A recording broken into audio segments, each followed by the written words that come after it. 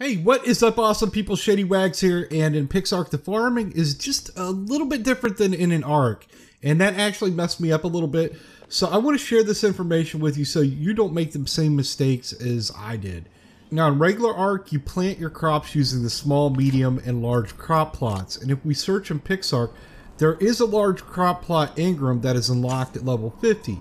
Now, since PixARK is very similar to ARK in many ways, my assumption was that I wasn't going to be able to farm till I unlocked that large crop plot at 50. Well, that is not the case.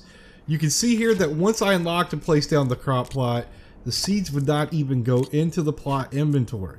For most of the seeds, all you need to do is actually plant them in a block of dirt and make sure that block of dirt is receiving water. That's all you need to do. So to make a farm plot, you're going to need to have the stone or metal intake and tap unlocked, you're also going to need vertical and possibly horizontal piping. I'm going to go ahead and place my water tap down right here and I want to make sure wherever I place that tap that I have three blocks on each side of it that I can change out the dirt or they're already dirt. Now I'm going to attach my first pipe and say I want to start my farm right here. This is going to be the top of the plot. I'm going to count three blocks and then the fourth block is where I want to place the tap.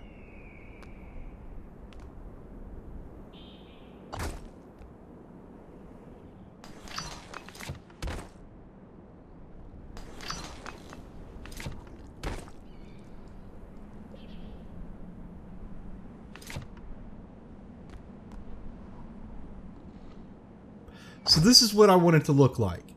Now I'll go through and I'm going to remove foundations in a 6 block wide by 7 block long grid. And that's because if we inspect the tap, we can see that it's going to provide water to any blocks within a 3 block range. Now I don't remove the foundations where there is piping just because I did have some issues planting and harvesting crops from the blocks that there were pipes on.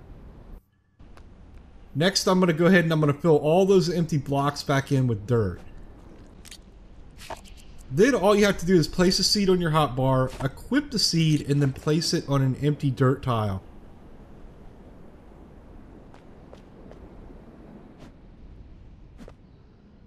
And if we inspect that tile, you're going to see that it is now growing. If you plant any seeds outside of that three tile range of the tap, they're not going to receive any water and they will eventually die.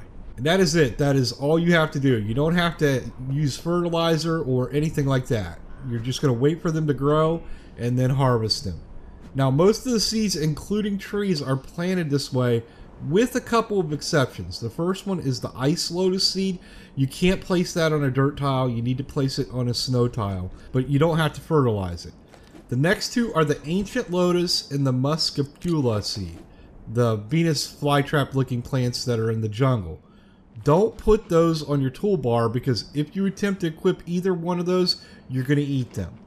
Now both of those seeds you place into a large crop plot.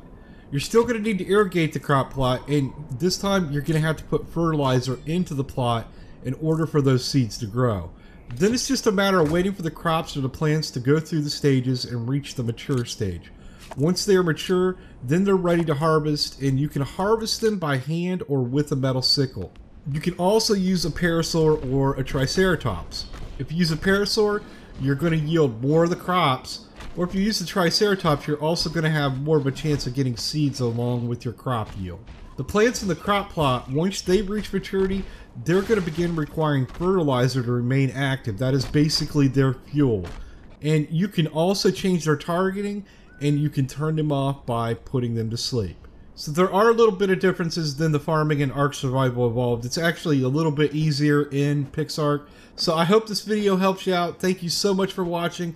Hit that thumbs up button, subscribe if you haven't already, and until next time, I will talk to you later. Have a good one. Yeah. Shady Wags got your back.